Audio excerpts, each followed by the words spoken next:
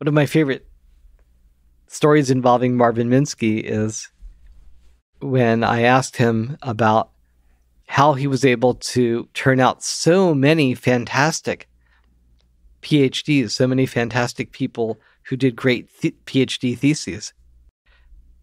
How did he think of all these great ideas? What he said is he would generally say something that didn't exactly make sense. He didn't really know what it meant, but the student would figure like, oh my God, Minsky said this. Yeah. It must be a great idea. Ah, and he'd so awesome. sweat. He or she would work on work and work until they found some meaning in this sort of Chauncey Gardiner like utterance that Minsky had made. so and then some great thesis would come out of it. Yeah, I love this so much because there's um young people come up to me, and I, I'm distinctly made aware that the words I say have a long lasting impact. I will now start doing the Minsky method of saying something uh, cryptically profound, and then uh, letting them actually uh, make something useful and great out of that.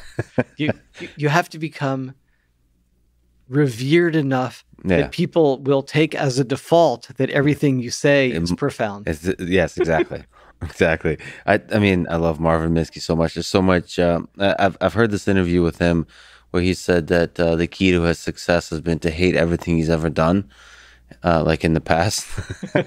he has so many good like one-liners and just, um, or, or also uh, to work on things that nobody else is working on because he's not very good at doing stuff. Oh, I, I I think that was just false. Well, but see, I took whatever he said and I ran with it, and I thought it was profound because it's Marvin Minsky. No, uh, but I- a lot of behavior is in the eye of the beholder, and a lot of the meaning is in the eye of the beholder. One of uh, Minsky's early programs was begging program. Are you familiar with this? Mm-mm. So this was back in the day when you had job control cards um, at the beginning of your IBM card deck that said things like how many CPU seconds to allow this to run before it got kicked off, and um, because computer time was enormously expensive.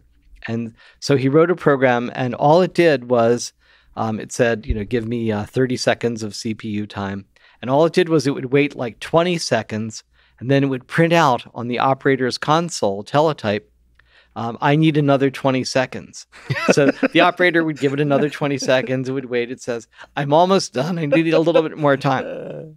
So at the end, he'd get this printout and he'd be charged, you know, for like 10 times as much computer time as his job control card. Yeah. You know, and he'd say, Look, I put 10 seconds, you know, 30 seconds here. Yeah. Um, you're charging me for five minutes. I'm not going to pay for this. And the poor operator would say, Well, the program kept asking for more time. and Marvin would say, Oh, it always does that.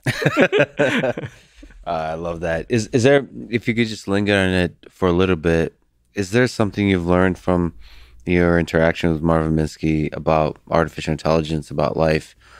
Uh, but I mean, he's again, like your work. His work is, uh, you know, he's a seminal figure in the in this very short history of artificial intelligence research and development.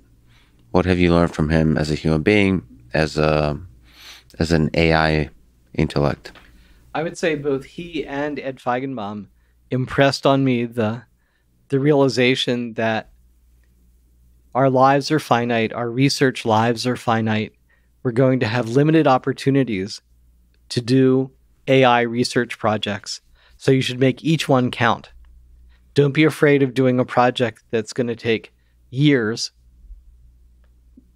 or even decades to and don't settle for bump on a log projects that could lead to some you know published journal article that five people will read and pat you on the head for and and so on so one bump on a log after another is not how you get from the earth to the moon by slowly putting additional bumps on this log the only way to get there is to think about the hard problems and think about novel solutions to them. And if you do that, and if you're willing to listen to nature, to empirical reality, willing to be wrong, it's perfectly fine because if occasionally you're right, then you've gotten part of the way to the moon.